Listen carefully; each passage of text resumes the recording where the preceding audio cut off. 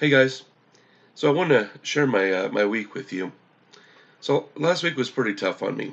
On top of losing my mom just about a month and a half ago, we also marked the one year anniversary of my dad's passing last week as well. So on top of all those things, um, living alone in quarantine with nobody to talk to just intensified feelings of loneliness and discouragement. And there have been other situations that have created additional challenges for me physically and financially. So by the end of last week, I was pretty wiped out. I was pretty discouraged and frustrated, and really was needing something to dig me out of uh, the rut that I had sort of found myself in. In, Jesus, in Genesis 15:1, God tells Abram that he himself was Abram's great reward. But the other lesson here that I have uh, learned is that, that I really need to trust God in hope that one day the suffering will be over. I've learned in the last few years how important hope is. Because I think we as Americans don't generally understand this concept of, of suffering. We have pretty comfortable lives and we generally aren't really all that needy. Uh, because I believe that it's only when you're in need that you really understand how much you need hope.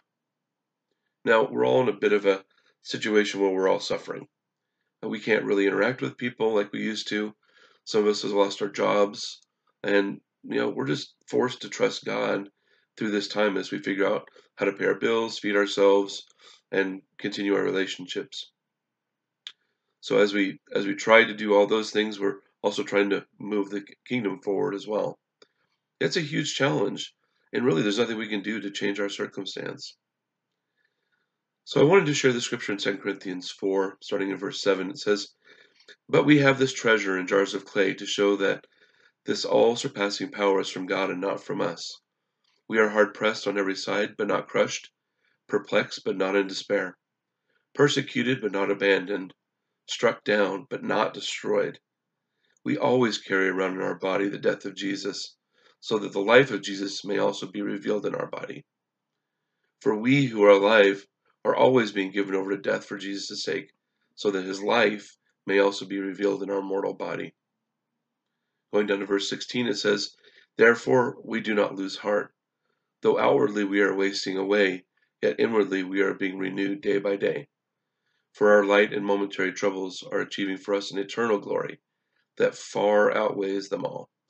So we fix our eyes on not on what is seen, but on what is unseen, since what is seen is temporary, but what is unseen is eternally is eternal. So ultimately, I believe that God is in control of all of this, 100%. The world is struggling right now because they don't understand who God is. But when we stay close to God, we have peace, even despite uncertain and challenging circumstances.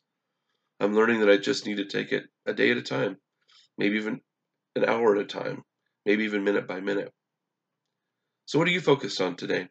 Are you focused on the challenges, or do you have your eyes focused on God and His purpose?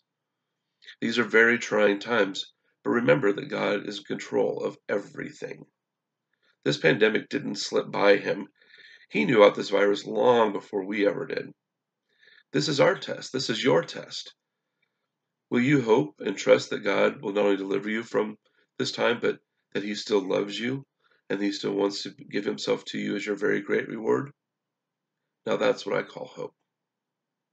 Thanks for listening and have a great week. Love you guys.